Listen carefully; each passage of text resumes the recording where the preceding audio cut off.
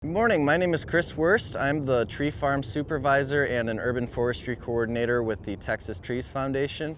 This is Eddie Vallejo. He is our tree farm assistant and we're gonna show you how to plant a tree this morning. So we have the tree we're gonna be planting right here. Um, for the most part, it is as simple as putting a tree in a hole and putting some dirt on it, but there's a few things that you need to make sure you do that will help the tree grow as healthy as it possibly can. So the first thing we're gonna do is lay the tree on its side, like so. And we're gonna either take a shovel or just our feet and we're gonna whack the pot like this.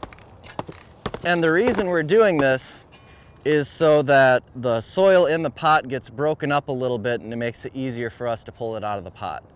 So once that's all good and broken up, we're gonna pull it out. That looks pretty good. So the next step we wanna do might be a little bit hard to see. There are roots circling around the, we call it the root ball, which is basically the part of the tree where the soil and the roots are. And the reason this happened is because the roots were growing in the container. They got to the edge of the container. They want to keep growing, but they couldn't go outward. So they just started circling around the root ball.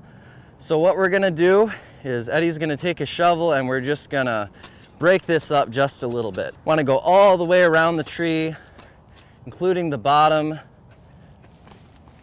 some trees will have more or less roots circling like this, but we want to make sure they're all nice and broken up so that they can grow outward instead of keep circling around. The next step, we are going to try to find what we call the root collar. This is the stem of the tree. Everybody knows about the roots. Where the stem of the tree and the roots meet, we call that the root collar. So on this tree, Sometimes it gets buried when it's grown in a nursery a little bit. They'll replant the tree, put it in a new pot, and they'll put some soil up on top so that it's covering the actual root collar. So in this one, it looks like we might need to dig down just a little bit to find that root collar. And you'll know it's the root collar because you'll see larger roots we call structural roots coming out of the stem of the tree. We're almost there. Sometimes it's really low, sometimes it's really high, it just depends. All right, that's pretty good. You can start to see some of the roots popping out here.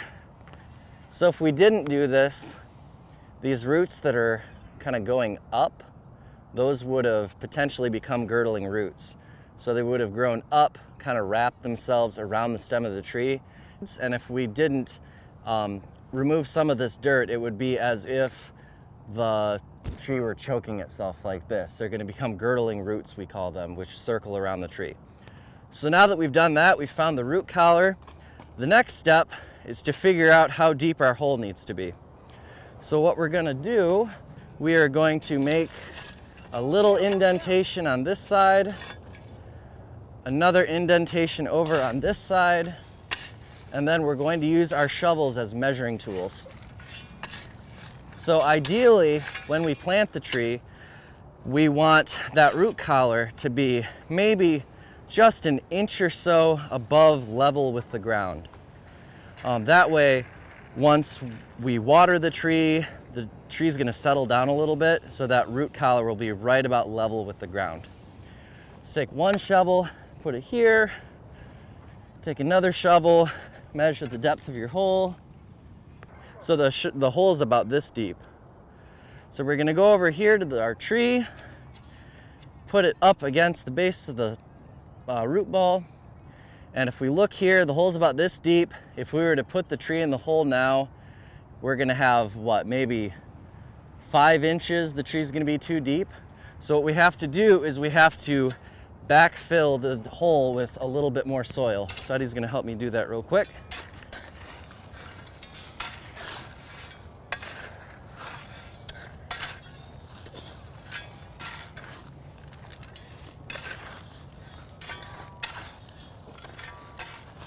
All right, and we're gonna try to level it out at the bottom, just to make sure that the tree has a nice flat surface to set on. And then we're gonna go ahead and measure again. So now the hole is roughly this deep, we can tell. We're gonna go back to our tree, measure again. Looks like we still have maybe three inches that we have to put back into the hole. Some holes you're gonna have more soil I have to backfill, others you're gonna have less. If you were to do this at home where you don't have an auger digging the hole for you, you're probably not gonna have to worry about this as much because you're gonna dig down just as far as you possibly have to. gonna measure the hole again.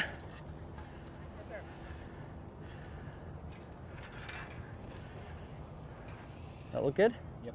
All right, so it looks like the hole will be right about at level with the root collar. So next step, if you have a smaller tree, you might be able to lift it. Otherwise, I would just say roll it right on into the hole. We want to get it as centered in the hole as we can. And then we're going to want to get it as up and down as we can have it. Go ahead and kind of do a 360 if you can, making sure it's nice and straight. And then if you're doing this with two people, it's a lot easier because you're gonna have one person hold it straight while the other goes ahead and fills it in with soil.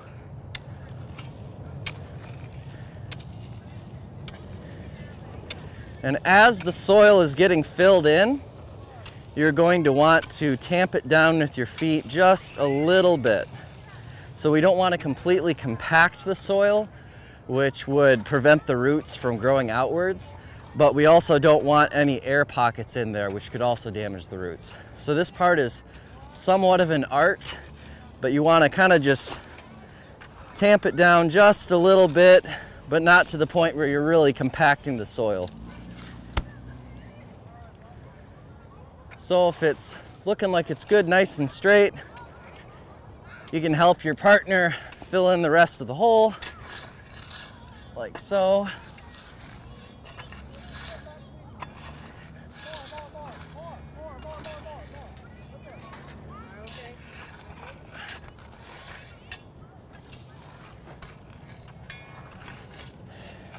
And if you have any, any pot soil that came out while you were getting the tree out of the pot, you don't want to put that into the hole because we want the tree as much as possible to get used to the native soil that you're putting it in.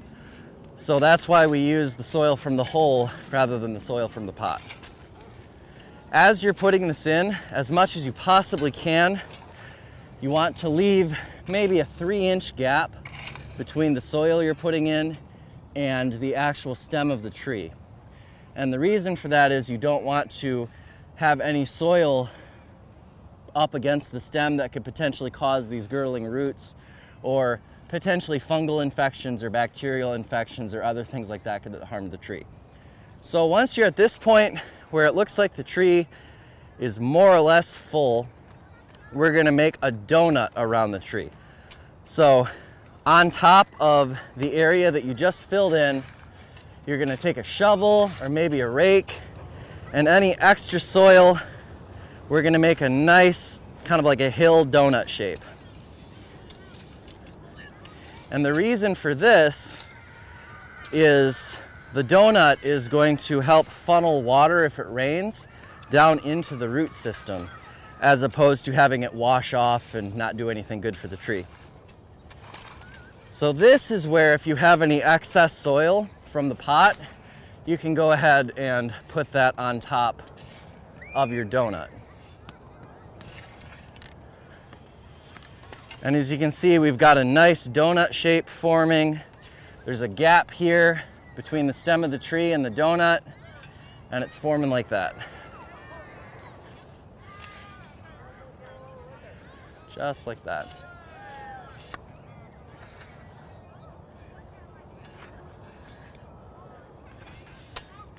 Looking good.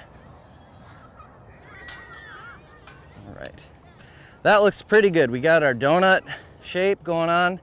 Our last step is going to be to put mulch around the tree.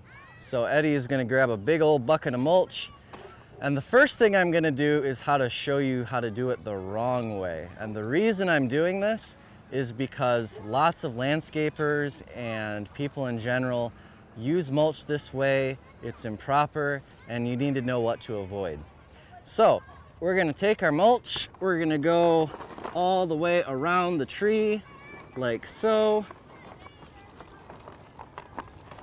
Sprinkle it all around. Now, a lot of people will make what we call a mulch volcano, where they take all their mulch and they push it right up against the stem of the tree like this. This is about one of the worst things you could possibly do to a newly planted tree. The reason for that, the reason we have mulch in general is to retain moisture for the roots of the trees. So if we have a rainstorm or something, the mulch is gonna help retain the moisture so that it doesn't evaporate and the tree doesn't have as much moisture that it needs. When you make a mulch volcano, what this does is it, one, prevents the rainwater or water from your hose from getting to the roots of the tree.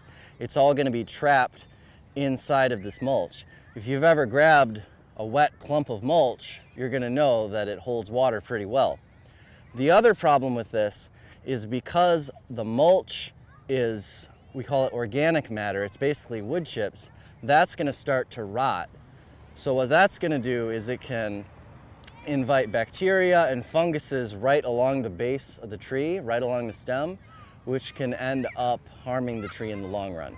So we don't want to do a mulch volcano. We want to pull the mulch back from the stem of the tree about as far as the donut. So we're pretty much just gonna cover the donut that we made. So you want, again, maybe three or so inches around the base of the stem that's completely cleared off, no mulch, no extra soil. And then we want about an inch or two of mulch all the way around the top of our donut. This is, at this point, as much an art as it is a science. So mine might not look the prettiest, but you can get pretty meticulous about this if you want to be. That mulch all nice and even. All right, so that's it. We've planted our tree. It's nice and mulched. It's in the ground. Um, with any luck, this tree will end up being a nice, healthy tree 20, 30 years in the future. The only thing we're gonna have to do now is come in and water it in and then these trees will actually be irrigated. But if you were to do this at home, you're gonna wanna water it maybe once a week for the hottest parts of the year and then maybe every other week during the winter.